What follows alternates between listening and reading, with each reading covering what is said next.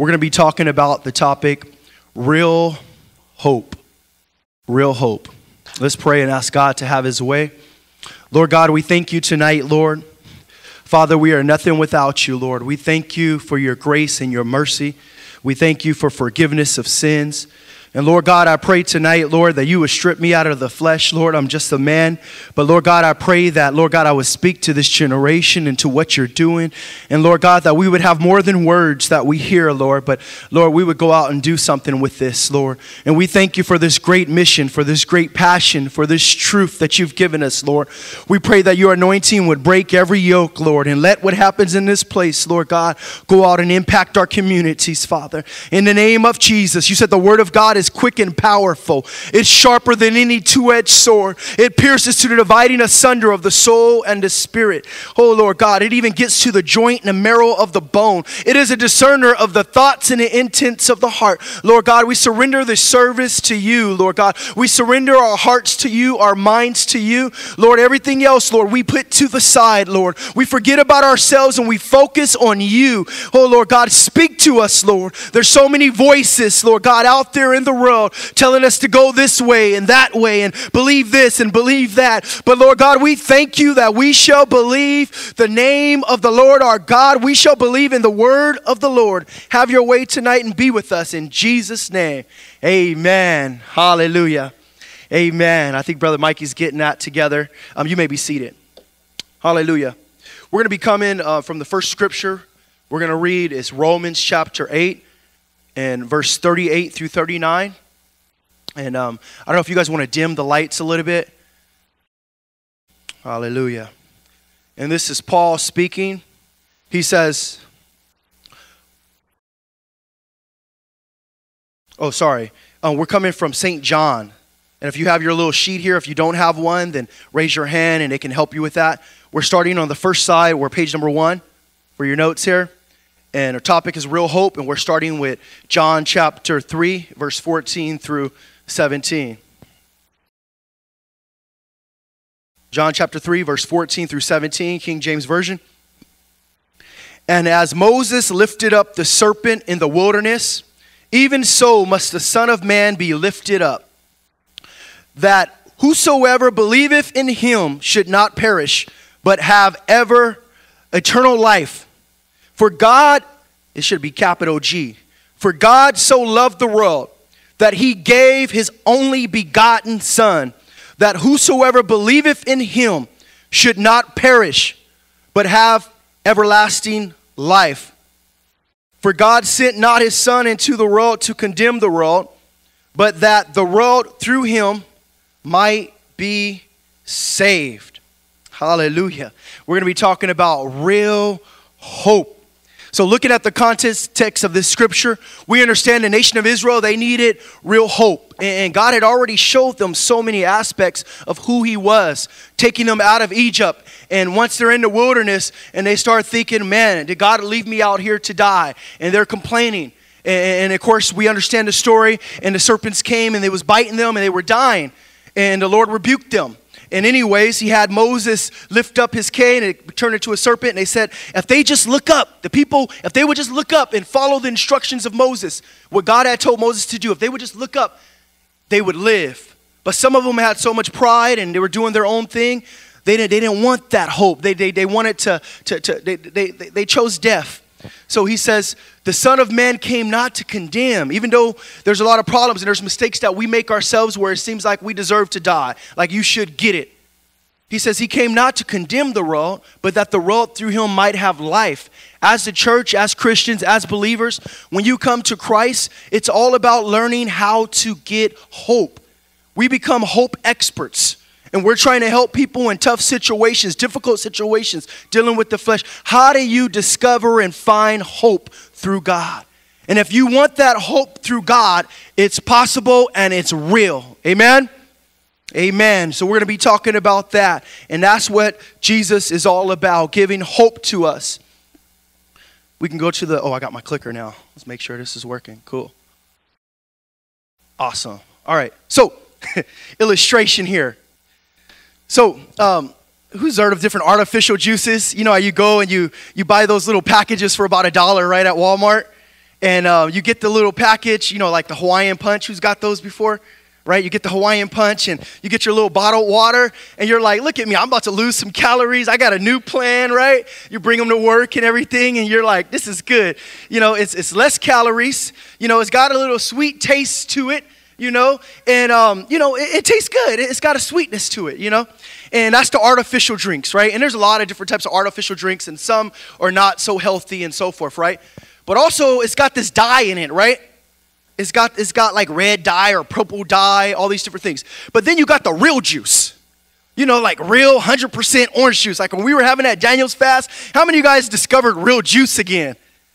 You know, you're like, man, this mango, like 100%, or you, you blend it or whatever, and it's some real juice, like 100% juice. And you try to go back to the other stuff, even though it's, it's cheaper. How many of you guys, you find it kind of difficult once you've had some real juice to go back and you're drinking the artificial stuff? Who knows what I'm talking about? If you got the money, you would rather have the real juice, the real stuff. You know, it's cheap though, you know, to get the to get the, the artificial stuff, right? It, you know, it's gonna sacrifice to get the real deal. You know, and that's how it is with, with real hope. The stuff that's not the real deal is cheap. You know, there's all these promises, but at the end of the day, it doesn't have the same value. Real hope is gonna cost you something. It's gonna be a sacrifice, but it's gonna be good and it's gonna be real. Does that make sense? Amen. Because there's all kind of hopes out there. You know, there's things that work. And I'm not gonna lie, okay, I still I still drink the little packages and I mix it with the real juice, but just wanted to start off with that, that illustrations, that illustration. So we think about real hope. Now, in life, we have different things that provide some satisfaction. How many of you guys, if you see a house like that and they say, you know what?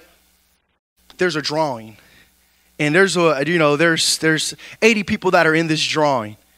And if you you have a 1 out of 80 chance of oh sorry of okay, of getting this house. How many guys you'd be like put me in a drawing. I'm not gambling or anything. Just if there's a they're to give this house away.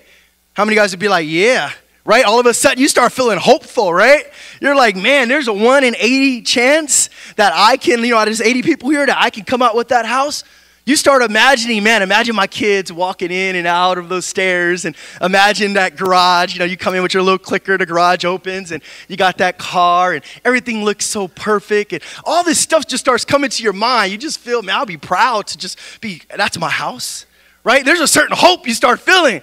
You know, it's like, man, it just looks so perfect. How many guys, when you see something like that, you're just like, man, whoever's living there, their life is good, right? So there's a certain thing that we feel in society, and it's nothing wrong with wanting nice things.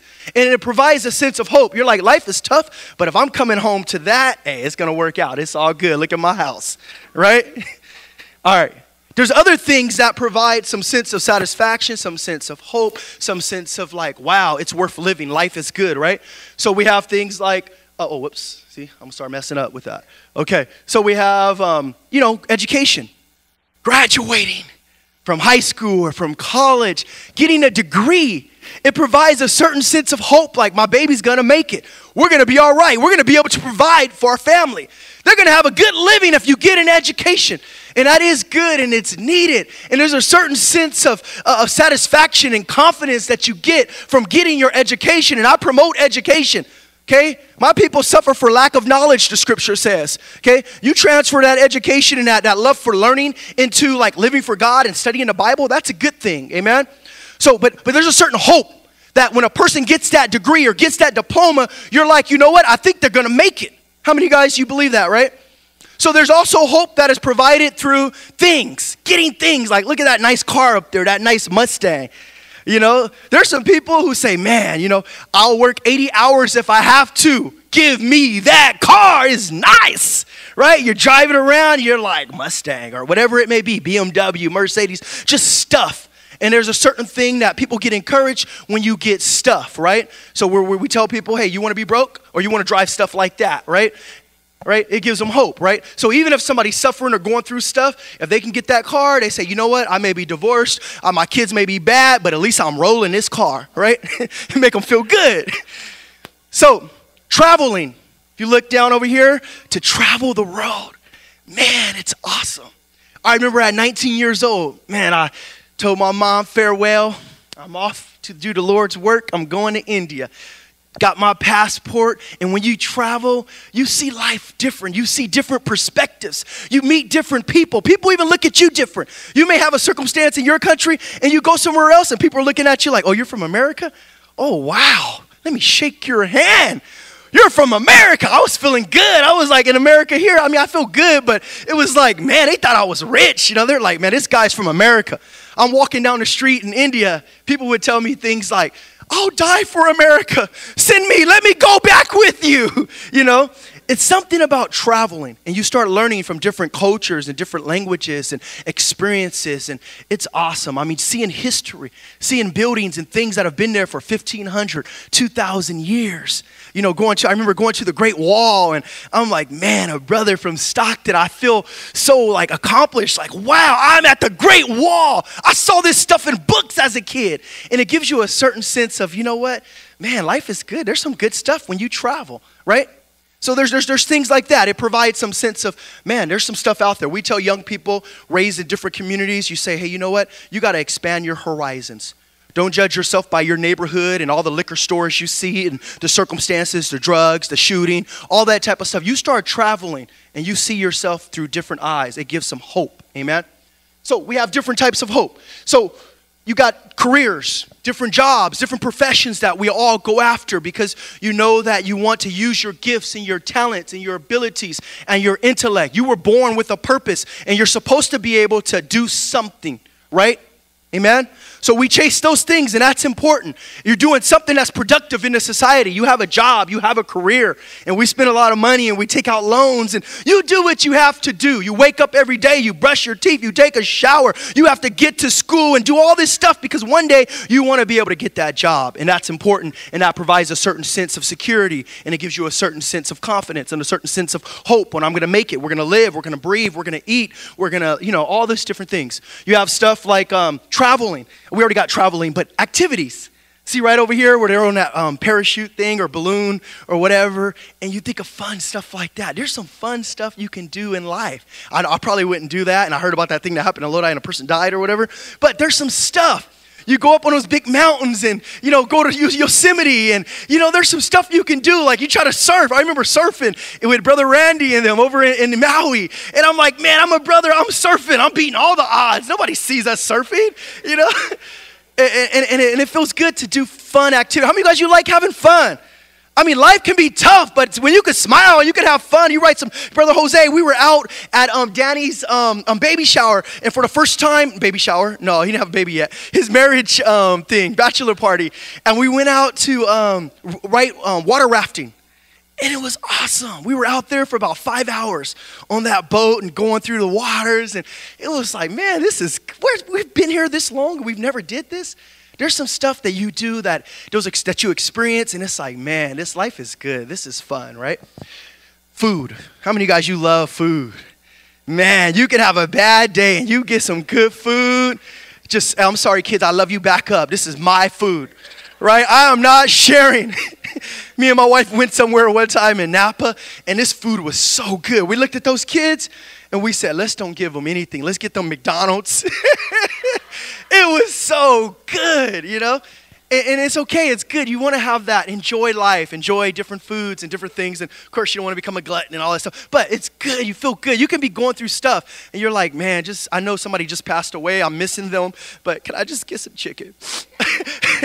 you know, that's why we come and we bring people food. We're like, you know what? Just show some love. Bring them some food. I can't change circumstances, but there's something about food, right? We got done with that fast, and you're just like, that's a blessing. We're spiritual, all that. But it's like, man, I, I wanted some Hawaiian barbecue. I wanted some, I already had Chipotle enough with the, I was through with it. All right. And then, of course, we get hope from spending time with family. You say, you know what, if you just spend more time together, we're so busy, to rat race, work, and everything. And it's something about when you just get together with your family and you promote family first and that quality time, it brings a lot of satisfaction, a lot of hope. Now, the thing is, this is hope and this is good and it's good things, but that real hope, that eternal hope, that regardless of the circumstance, and when all this stuff doesn't work out and it's not perfect and things fall apart, what am I going to turn to? I'm talking about that real hope when you never traveled and you never will get a chance to travel, but still you know one day you're gonna make it and you're gonna be somebody and you don't got the car and you don't got the house and you don't got the education, but you have your dignity and you have your respect and you walk with holiness and you love people and you say it's real. Let me let me slow down a little bit. Woo! All right. Now, now defining real hope. That's where we're at now. And I don't want to take off too quick. I'll try to be that one that goes slow and then you ease into it. But when you feel it, you feel it. Amen. Defining real hope. Real hope is putting our trust in God. Somebody say, trust in God. You know what the scripture says some trust in chariots and some trust in horses, but we will remember the name of the Lord our God. Call me crazy, call me old fashioned, call me traditional, but there's something about the name of Jesus so that's that's that real hope. People say, but no, we've become more educated. We've arrived. Don't just put your hope in God. Some people will tell us that us having hope in God and having faith in that religion is just an opium to the masses. They say you're all hypnotized. They say they got you manipulated and they're using religion as a crutch. And you look at them and you say, No, I trust in God. There's some stuff your education couldn't give me, the stuff that the house couldn't fill me up with. I needed God. I needed God. I needed real hope from the all powerful, all knowing, and loving God. Somebody say, put your trust in God. Real hope, not in putting your hope in man. So many promises. Our own abilities will fail you at times. You get sick, things happen. Your own talents, your own dreams. You can't pour everything only into that and then get bitter. Does that make sense? Real hope is trying to live by God's word. Man, it's more simple. Just trying to be a Christian, just trying to be a believer, trying to live by God's word and accomplish his purpose. Oh, thank you for telling me. I got to be careful with that. Oh, look at me. Thank you. He was giving me the signal too. Trying to um, accomplish God's will and his purpose for your life. That's real hope. You say, well, how can I do that? Real hope is not allowing the lust of the flesh and the lust of the eye and the pride of life to, to, to move you away or prevent you from moving in the direction of real hope.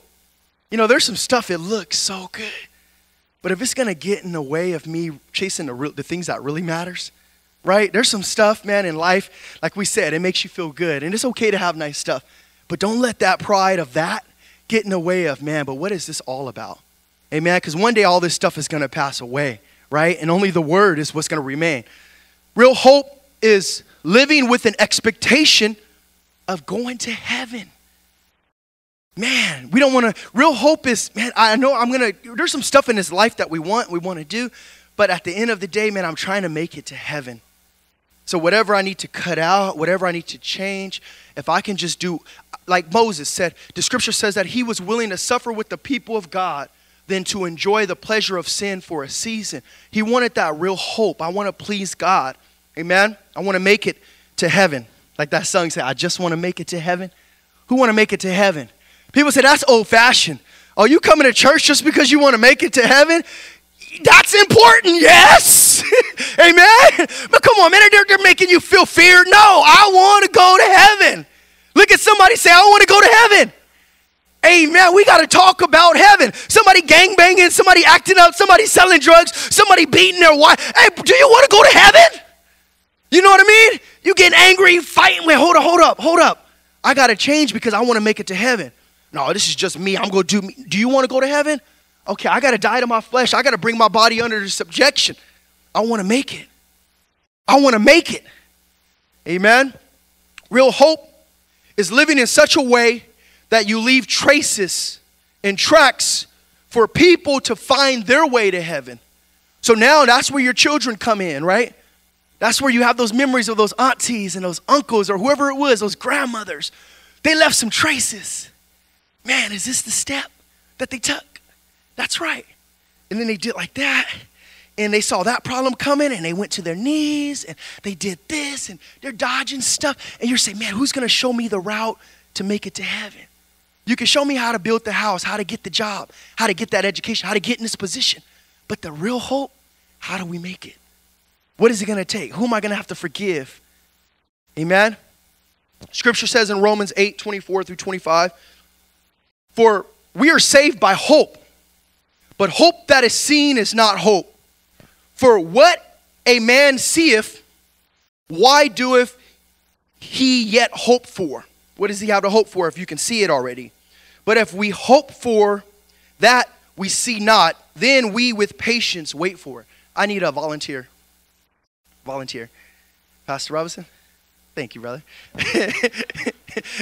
That's a good thing about sitting in the front. Huh? Thank you, brother. Amen. So, your hope is you are going to try to jump. I don't want you to fall over here, so we're not going to fall. So, your goal is to jump from here to right here. Okay? All right. Who thinks he can do it?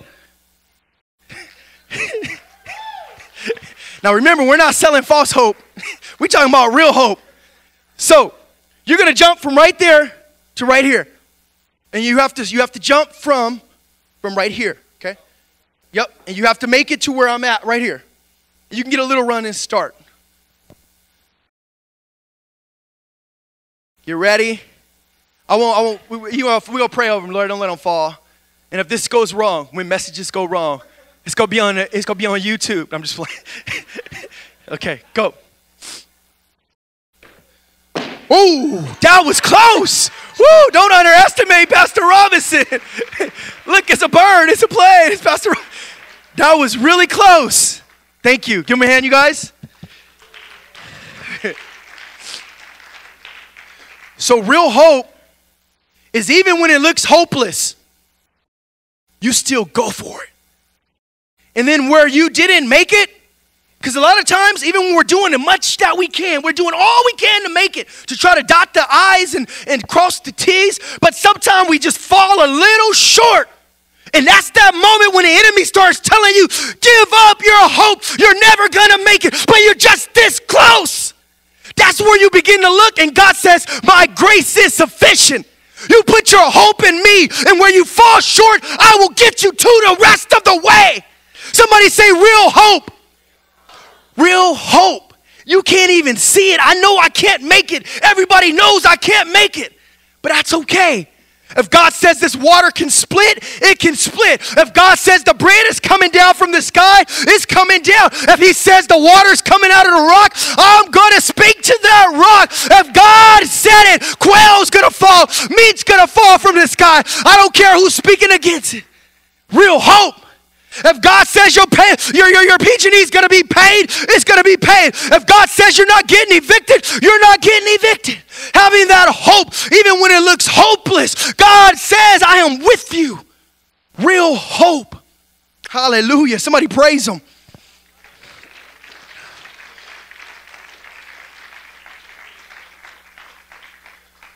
So now the thing is, what we deal with, we got real sin problem.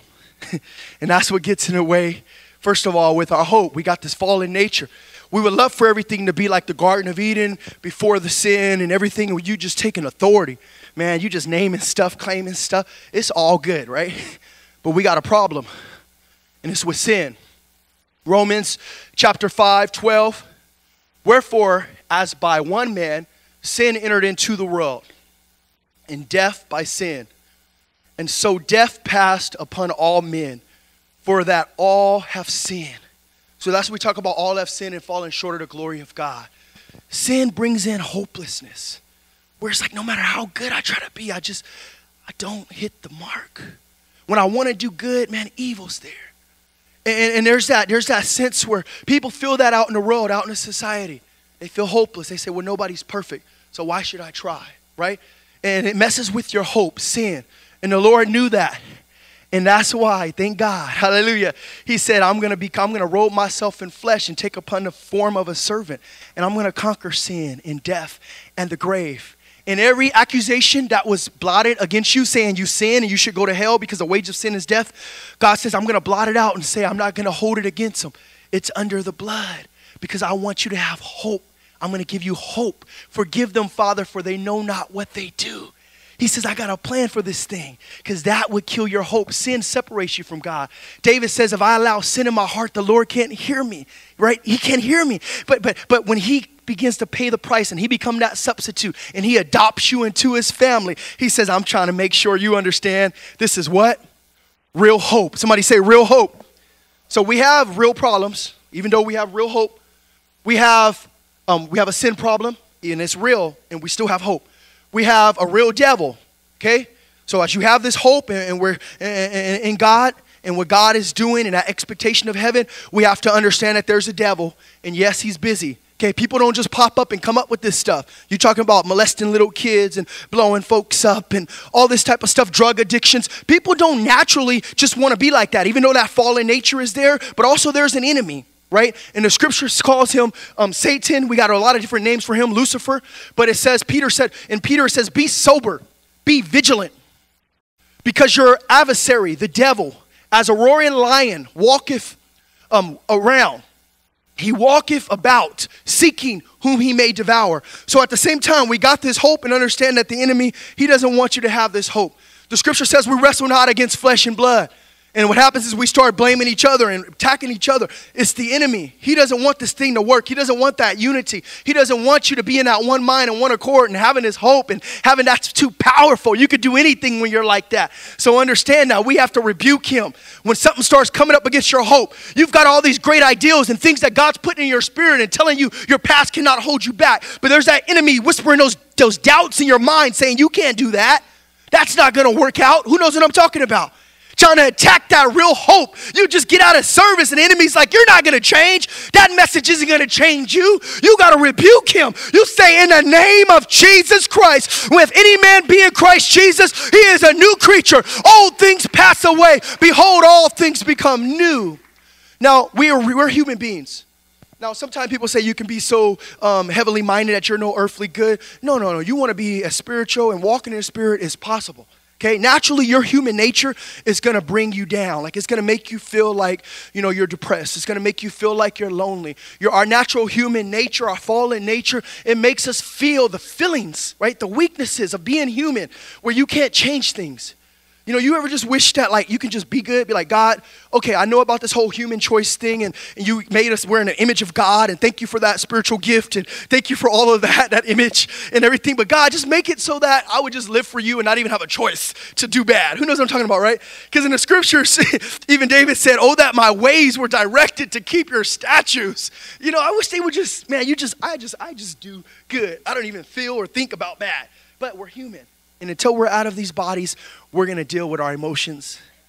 We're going to deal with our flesh. We're going to deal with humanness, right? We get tired. We get weary. We get worried, right? We have doubts. We have fears. We deal with all of that type of stuff in the midst of this hope, trying to have hope. So at times we feel lost. Who's felt that before? Confused, right? Unsafe or unsecure, unsure, perplexed, unclear. That's a part of your humanness. Just because you're feeling that doesn't mean that you can't make it, that you don't have no hope, but that's just what it comes to you. It attacks you, right? When things fall apart, the broken pieces, this is a quote, when things fall apart, the broken pieces allow all sorts of things to enter. And one of them is the presence of God. When things fall apart, David said, David said, man, he said, uh, the, the, scripture says, um, um, um, where the Spirit of the Lord is, there is liberty. But also, he said, where there's a broken and a contrite heart, when you're broken, he said, The Lord will not deny. He said, Create in me a clean heart, O God. Renew a, a, right spirit within me. This guy slept with another woman who was, who was married, got her husband killed. So he had that condemnation and he was confused and he was going through stuff. But he knew that he started off as a man after God's own heart. He was just a little boy and he believed in God and he had already did some great things and, and stood up and had integrity running from Saul. And many people would have just tucked Saul out. But he said, That's a man of God. He had did some good things. Even when you do do good things, but then sometimes things fall apart. Sometimes you miss the mark. Sometimes you get it wrong. Sometimes your humanness just kind of gets you. Who knows what I'm talking about, right? But in that moment, when you surrender to God and you say, God, there's nothing like your presence. Like Jacob had made so many mistakes, right? But all of a sudden on that journey, and while he was tired, he stopped in a desert, in a wilderness, right? And he met God at that Bethel. He was sitting there and he put his head on a rock, and all of a sudden he saw angels ascending and descending. He woke up, he said, Man, surely, right in the middle of feeling hopeless, when I'm running from my brother, I don't know what's gonna happen with my life. All of a sudden, the presence of the Lord, it'll show up and it'll encourage you late at night, and you're struggling as a young man and you're saying, I want to live holy. This girl keep calling me or this boy keep calling me. I want to live right. And you're right there and you pray and you get on your knees and you're saying, I'm going to live for God. I'm talking about real hope when you're in the presence of the Lord and they say, What is this altar going to do? Man, you've been through so much life, you got so many problems. But right here on a Sunday, on a Wednesday, or just in your room at your house, man, you get in the presence of the Lord and you say, Man, there's hope. Man, I got the real stuff. Hallelujah. Somebody praise Him. So, let's kind of simplify this. Let's look at this math equation came up with. I know it's different. I think different. so, let's say, of course, we know, say 2 times 2 is 4.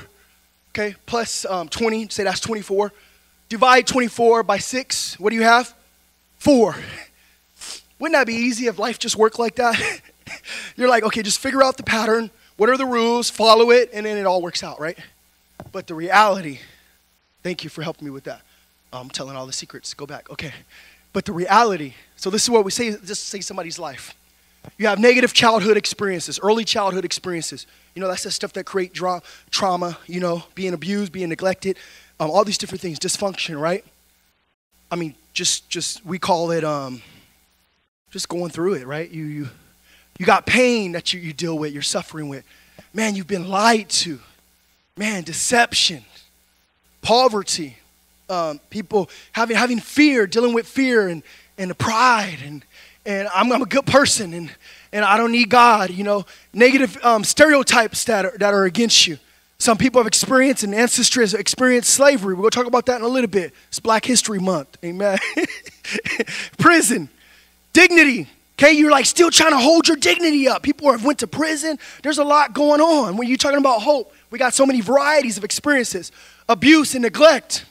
Some people say, but, but I got a good education, so maybe it'll work out.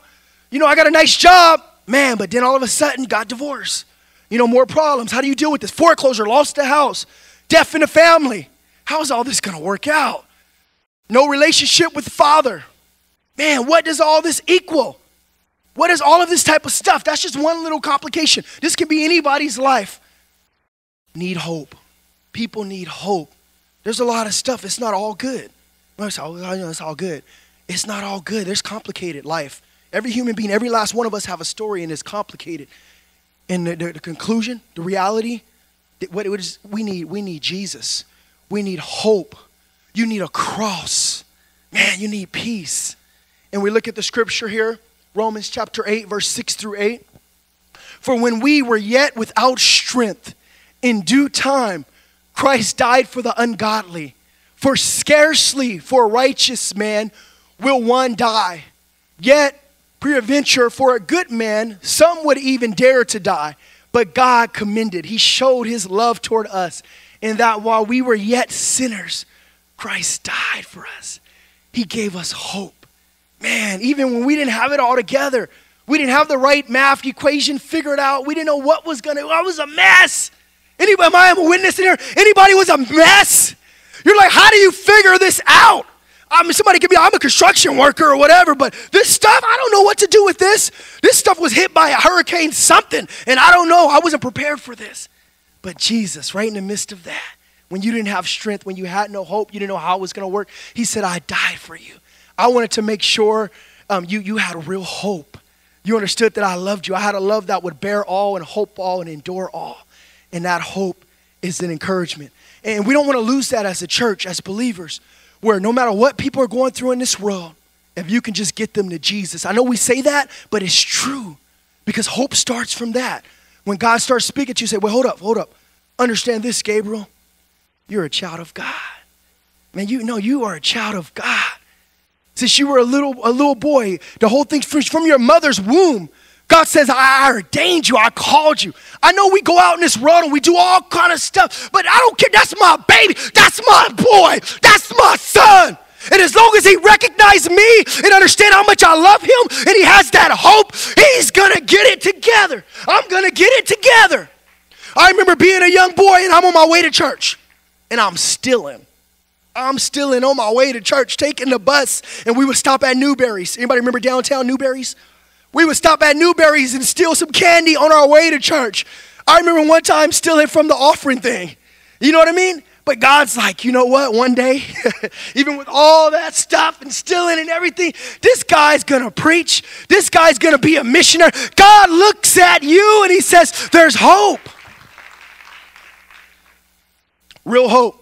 For I am persuaded, Paul says, that neither death nor life, nor angels, nor principalities, nor powers, nor things present, nor things to come, nor height, nor depth, nor any other creature shall be able to separate us from the love of God in Christ Jesus. When you get a hold of this hope, nobody can take it from you. They could take your house, they could take your car, they could do your education at one point can be gone, your job can be gone. But you get Jesus, man, nobody can take this from you or from your legacy or from your family.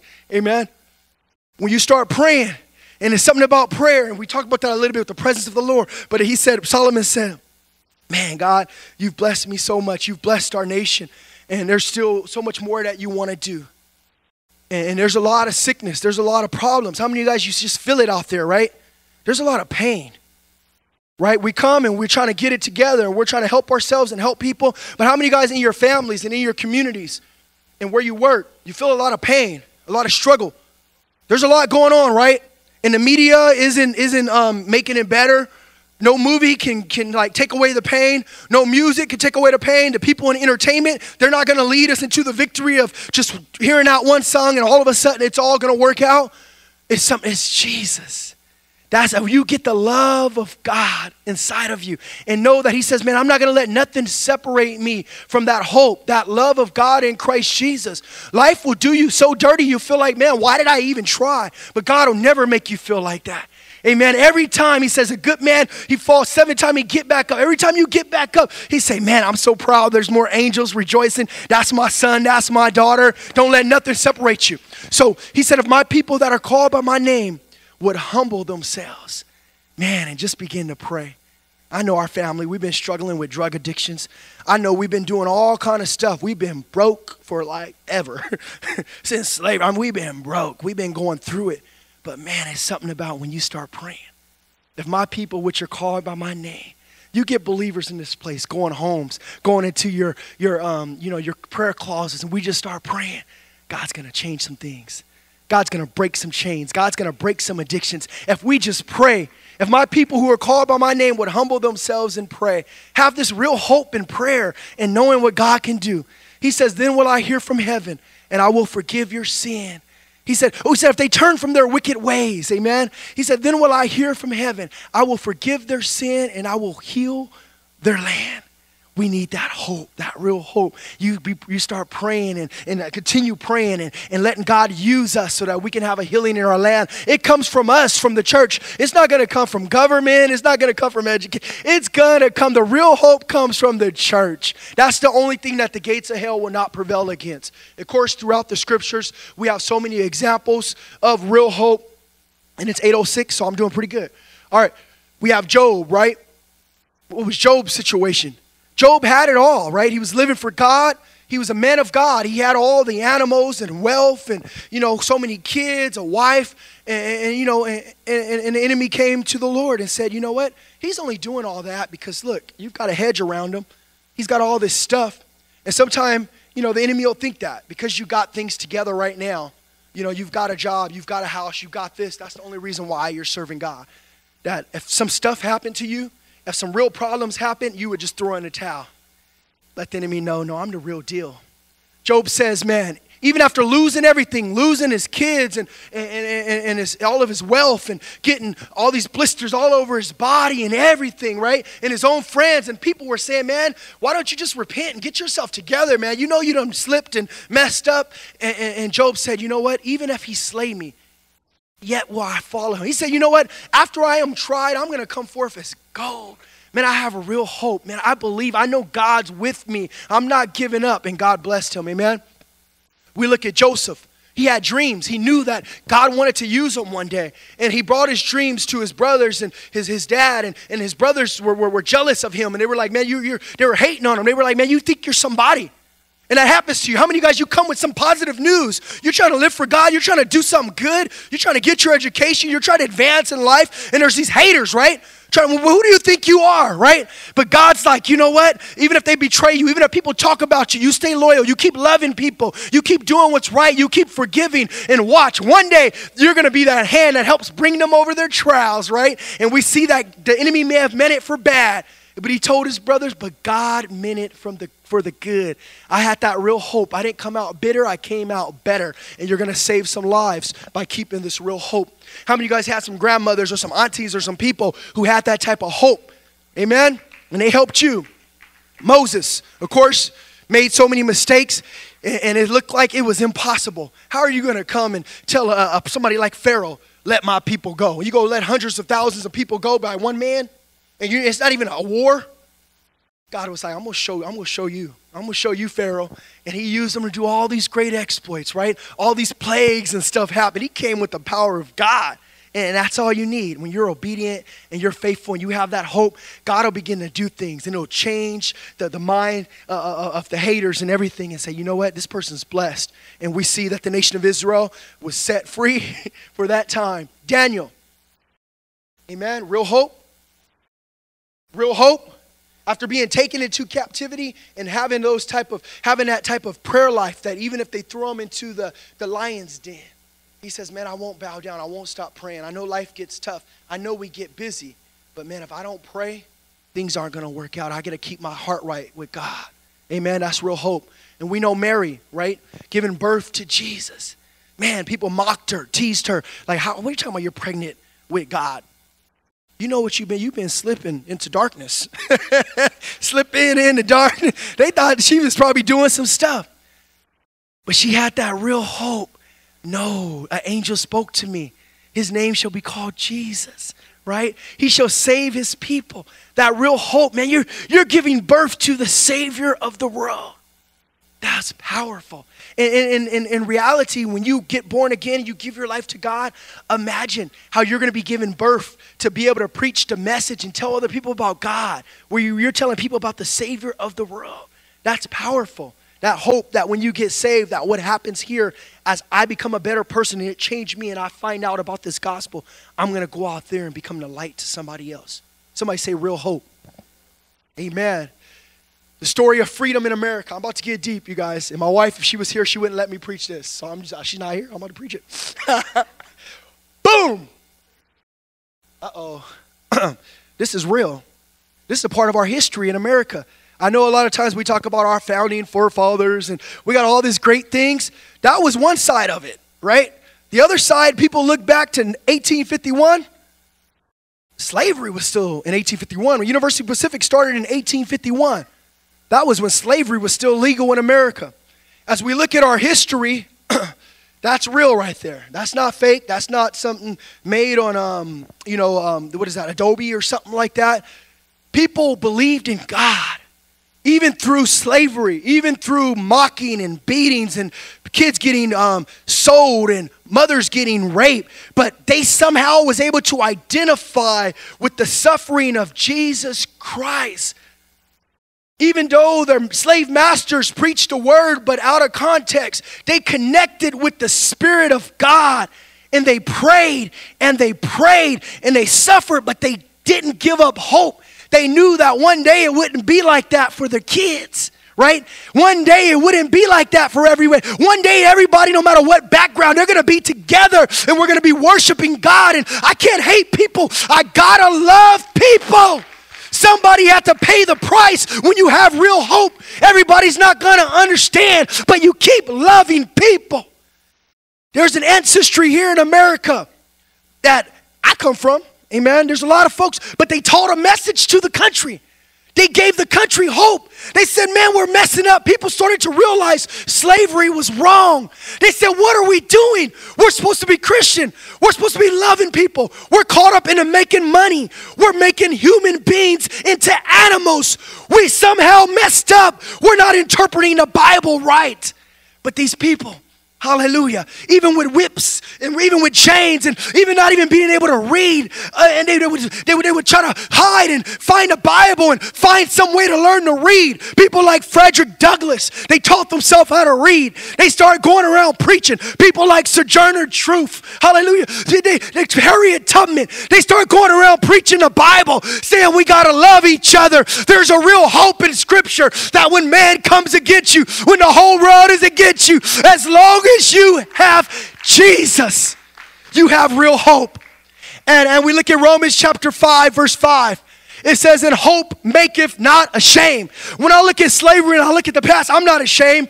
I'm so proud. I say my grandmother's grandmother was a Christian. My grandmother's grandmother's grandmother, they didn't take this stuff because the houses were nice, because the cars were nice, and they were just so blessed to be in America, even being whipped, even being enslaved. They said, I know Jesus. One day it's going to change. I'm making it to heaven and they birthed out some great gospel songs that it wasn't like sitting here in some rosy place coming up with some stuff. It was through the pain, through the struggle, but they had soul and they had faith in God and that real hope. And it says, Hope maketh what? Not ashamed. Not ashamed when you have hope because the love of God is shed abroad in your heart by the Holy Ghost which he has given unto us. Amen. So when you start seeing people promoting hate, you say, We're not going back. We're not going back to that. We have that real hope. We got to love one another. Segregation. People start coming together, black, white, different groups, believers mostly. You know, people realizing that, wait a minute, we're supposed to love people. We need to, I can't make it to heaven with this type of hatred, right? You can't make it to heaven hating your brother right? If you, if you can't love the people that you can see, they came together. They sang songs like what? I can't sing, my throat is all off, but we shall overcome. Who remember hearing that when you're growing up in the school? They would, they would show some of those videos. They're talking about this. That's scripture talk, that's Christian talk. We shall overcome. All that, and they were coming together, having that spiritual strength man, there's real hope. God's going to change our country. God's trying to, I know we're wealthy. I, know we have other stuff going on. We're trying to make it to, to space and we're trying to do all this cool stuff. But what about right here? How can we learn to love each other because I want to make it to heaven? How do we give people hope that's right next door to us? Man, if we can live next to each other no matter what color we are, that's hope if we can work together no matter what color we are, we can use the same bathrooms. You know, because when we get to heaven, we all gonna be using the same bathrooms anyway, right? We're gonna be sitting on the same pews, whatever. That's real hope. And, and, and that's, what, that's what they did. And um, I think I have the video. Was he able to connect the video or no? Do I need to click it? Show you this real quick. This is my wife and I, our school.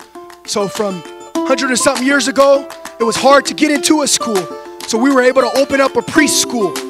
And this is our school right here in Stockton in University Park.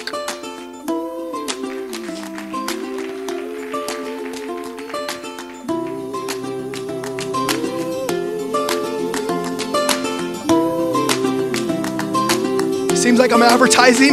I'm just trying to tell the truth.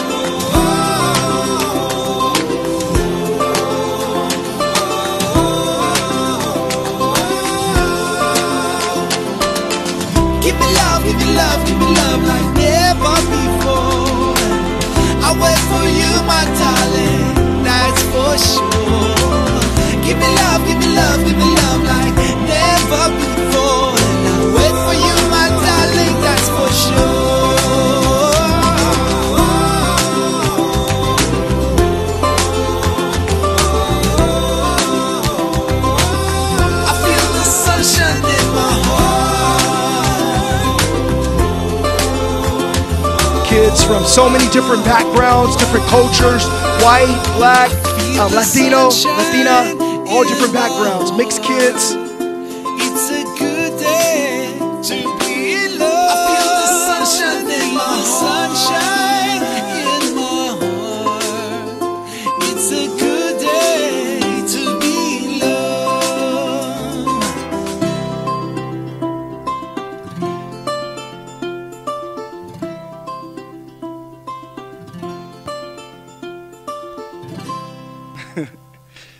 Hallelujah. Hallelujah. So, 1851, University of Pacific, it was still slavery time. You know, there was still stuff going on, right? I wouldn't think, or my, my the people that had that, that, that, that hope and that, those prayers, man, I work at the University of Pacific. By God's grace, as a part time professor. A hundred and something years ago, you know, there was ancestors that were praying out. I hope one day, God, one day, God, you can open up those doors. Man, to start a school right next to the, the main college, Stanislaus in Stockton, right next to Stanislaus Stockton campus, inside the facility where we're at. It's like this type of stuff was impossible 150 years ago. Or even just looking at my life and how I was raised up around drug addiction and me myself getting kicked out of school and all that. Nobody sees you as you're gonna open up a school. 10,000 square feet. Nobody sees you as you're gonna be a professor, you're gonna be a principal, you're gonna be a missionary. But there's something about the gospel. People have come and they prayed before. I had a grandmother, a praying grandmother. My grandmother had a praying mother. Her mother had a praying mother. They were praying, they were believing. And they said, if my babies can get saved and make an impact, and that's what it's all about. Thank God it's not about the schools and all that, but if God puts something in you and He can help change you. We thought when we go to church here, our name of our, our children's church is called what? Loving what? Loving kids. So we said when we come to church, how do we go out to the community and show people that this is real? We come up with a nonprofit and said, we're gonna call it Loving Kids. Let's take the church out there. Now, of course, you're not out there preaching Jesus, but they can see that, man, these people, they're showing that love. Something's real about these folks. God's people, Christians, we got to get out there and sprinkle ourselves all around this world because there's times when parents come in and what happens? They need prayer. We used to have Sister Megan working for us. She, one parent came in one time and, and they started talking, and all of a sudden she prayed and God touched the person. Amen. And Sister Megan made that video too. But um, it's just that's what it's about. How can we offer people hope? As we look at that whole history in America, it's different perspectives, but it was always, it was Jesus. You look back, you say, how did all that stuff happen? People came together, they believed in Jesus, and now look at the results. Look at this beautiful, diverse church. Just keeping it real, even people preaching from this Bible, this was not possible even 70 years ago. You, you can walk into and oh, no, you go you go worship with your kind. you go worship with your people. But look at how God, through focusing on Jesus in Christ, there's neither male nor female, there's neither Jew nor Greek, but all one in Christ. We get together as the people of God. We spread hope, man. We all need Jesus, and look at what God's doing. Amen. Amen. What did I do? Can you click on the next? one? There we go. All right, so, and I'm at a conclusion, it's my last two. Real hope is contagious. So this stuff spreads like wildfire. When you got the real stuff, man, it's powerful. Just like how we're afraid when somebody say cancer and you're like, uh-oh, watch out, don't get too close to me. And now, now it's like you, you don't, you know, you're like, no, let's show love, let's show compassion, let's let's attack this thing, let's let's pray, let's stand up with the Lord, right? But in the natural, when somebody say disease or problem, you try to get away from it. The hope is the opposite. We have such good stuff. We need to get around people. We need to be visible. We need to be, we gotta be light. We gotta get out there and begin to share the stories. People wanna talk about negative stuff and all this stuff. You get out there, you know what? Man, that's all you need is just come to church.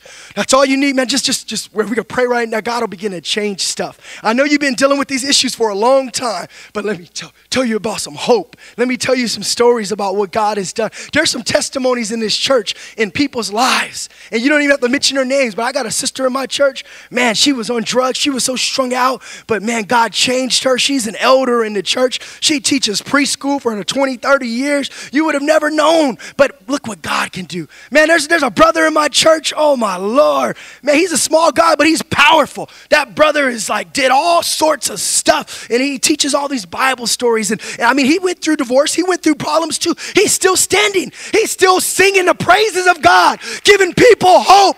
Man, there's an elder in my church. He's had some problems with his body, but you know what? He goes out there and he preaches in the in the houses and he helps lead the Bible study. I mean, man, there's there's a sister in my church, man. She's been divorced and she's not even looking for another, but she just like, I just got Jesus and I'm trying to raise my kids right. If a man comes, he comes, but if not, I'm satisfied with Jesus. Man, there's a young sister in my church. She got like four kids and she ain't on drugs. She ain't out there selling her stuff. She said, I'm bringing my kids to church. We don't got much money, but my baby's gonna make it. We'll get that gas. we going to make it to church. Man, there's a grandmother in my church. Her kids, they're going through some problems, but she keeps showing them love. She said, Bring those grandbabies to me. I'll raise them. I'll bring them to church. My kids going to make it. We got real hope. Hallelujah. They know. They know real hope. They know real problems, real uh, it's real levels, real pain, real struggles, real sin, real stress, real depression. But at the same time, we are not having false advertisement. We've got the real deal. Amen. Let's stand. Hallelujah. Somebody say real hope. Amen. Hallelujah. This is contagious. In this moment, and I was telling I'm I'm teaching a course at the Bible college called Urban Ministry how to minister to people in cities and throughout the word and from the New Testament, right from the beginning, like in Antioch, where they were first called Christians. Somebody can get some music going and stuff. Thank you. And they were first called Christians. They were going from city to city. And they had a lot of different cultures and people from different backgrounds. And they were finding out ways to minister to people, being creative. We've got some communities to reach here. We got we got to activate every one of us. Okay, we're sitting here, you see me preaching and stuff, but I'm not just somebody who's just birthed out here from preaching. I'm one that just go out to my neighbors and at my workplace, I will witness to people. That's how I ended up in India being a missionary and stuff, going into the prisons. In my college, I'll be in there preaching in my speech class and stuff. You know what I mean? Your neighbors, you're at work. Every last one of us. It's not just people who hold a mic and you say, oh, you're the ministry. You invite people to church, you win so. No, we're all called. If you got hope inside of you and you have that real hope, you have now, you have been commissioned. You have been, you have been given a proclamation to go out and to make disciples. Every last one of us, if you're a believer and you're saved and you have this hope inside of you, you have been commissioned to go out there and to share it with somebody else. And that's what we need. We can't give up. Our family members, our cousins, our uncles, people, your friends. We got to show them, man, there's real hope. There's all kind of stuff out there, false hope right? There's who's been hearing about this stuff. There's all kind of doctors and people trying to tell you don't come to church, don't believe the Bible, right? Don't follow the man of God, you know, and all these. No, man, this is real. Man, I got the real stuff. Real hope is offering people. Can somebody play this music? Somebody play music? Offering people Jesus. Period. Don't offer them the Democratic Party. Don't offer them the Republican Party. Don't offer them black Hebrewism. I don't know what it is that you offering. Don't offer that stuff. You offer them Jesus. That's real hope. Get all that other stuff is cloudy. It's cloudy. It gets in the way. It gets in the way. Paul said, I determined to know nothing else among you except what? Jesus Christ and Him crucified. Don't come with me with all that other stuff, man. I'm gonna tell you how to get this house, how to get this money, man. No, tell me how to get to Jesus.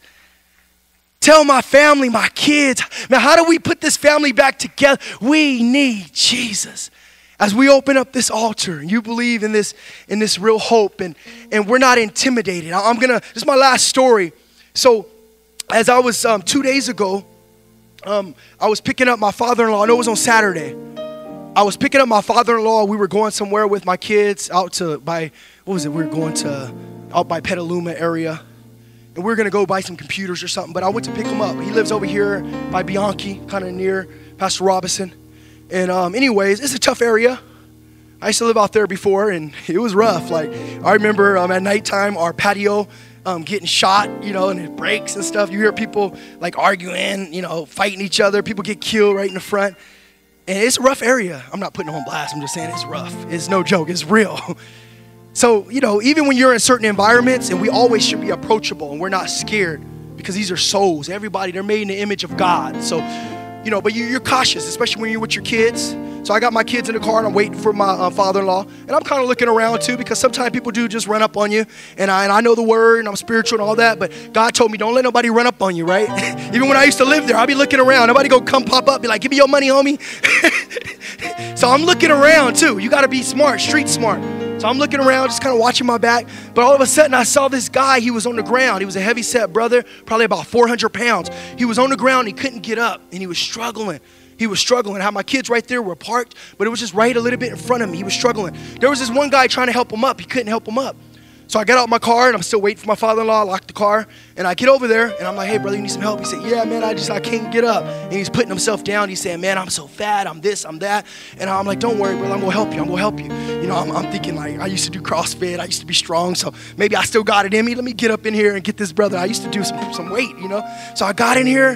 He put his arm around me. I'm trying to get him up, and it's not even budging. And I'm like, oh God, man, I'm thinking I'm the hero, right? I'm gonna come help this brother up, you know? How you gonna work out all those years? You can't even help this brother up. You're sitting there building, helping tires and doing all this stuff. Now somebody really need help. And this guy's crying actually. And he's, he's a grown, he's a grown man. He's not like somebody with a mental problem, and he's not like uh, you know something like that. He's got a nice car. It looks like he work, and you know what I mean. It's not like he's just you know he's not drunk. You know people get drunk, they just start crying. You know, so I'm trying to help him up. I can't do I can't do it by myself. And there's another person there, and he said he had back problems, so he can't help. So there's a sister. She was getting ready to go to work or something. She stops and she comes over, and uh, um, African American sister, probably about 20 something. She came, and then we both helped, and we got that brother up. He started crying and he was saying, I love you guys, man. I love you. And he wasn't drunk, I'm telling you. But he was just, the fact that we just helped him up. And he just felt so overwhelmed. And at that moment, I didn't have a church card or nothing like that. But I just thought, you know what? Let me pray with him and encourage him. Because he really felt like at that moment, man, I don't know if I'm ever going to give up, get, get up. You know, is, going to have to call an ambulance? And I'm to be so much shame and so much, you know, man, look, look at this where I got myself and all that. And we don't want him to feel like that, right? So you're trying to help a brother up, help somebody up. So he got up and he's crying. He said, I love you guys, you know. And he was serious. He was like, thank you. Just humans. And somebody needing help, you know. And, and that just provided hope. And that's how it is with the Lord. You know, honestly, it's just, God's just like, man, you've fallen. And we know that old commercial, I've fallen, I can't get up. But it's real. So many times our habits and the things that we do and our mistakes, we fall. And it's like, I don't know how to get up. And sometimes it's not to just be one person. You're to need a variety of people to help you to get up. And that's why we need each other. The hope that you have is going to help somebody else to get up. If you believe that, if you can make your way down to the altar,